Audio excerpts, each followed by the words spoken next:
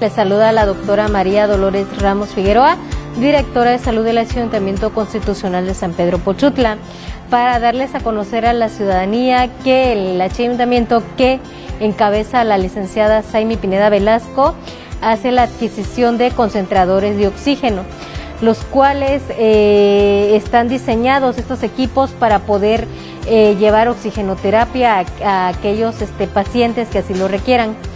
Eh, una de las enfermedades que actualmente nos ataca a nivel mundial es la COVID-19, la cual genera, como sabemos, una hipoxia, que es la disminución de, oxígeno, y estos equipos ayudan bastante a poder mejorar la calidad de vida, incluso a mejorar la supervivencia.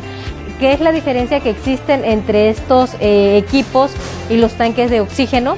es que estos equipos no necesitan estarse recargando como los tanques. Toman el, oxígeno, el aire del medio ambiente, eh, lo absorben, lo filtran y nos dan este, una cantidad de oxígeno pues bastante puro, ¿no? casi el 96%. Y eh, estos equipos se pueden este, tener en las casas ¿no? de aquellos familiares, eh, de aquellas personas que estén con demanda de, de esta terapia y pues son bastante seguros, son muy fáciles de, manejar, muy accesibles y ya este, tenemos en el ayuntamiento este, estos equipos van a estar a disposición del, cuerpo médico ¿no? para aquellos pacientes eh, que lo eh, requieran este, este tipo de atención. Se van a estar haciendo las, eh, el manejo aquí en, en lo que es la dirección de salud con una servidora.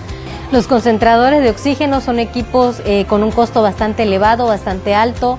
Eh, es por lo cual también se les hace la recomendación de que durante el préstamo, durante la estancia de este equipo en sus domicilios, hagan un buen uso, un cuidado, no tenerlo tan pegado de, paredes. ¿Por qué? Porque como mencionamos, eh, absorbe el oxígeno del medio ambiente, tenerlo alejado de una fuente que genere calor eh, eh, igual no estar alrededor de que haya niños circulando o que puedan generar algún accidente con el equipo.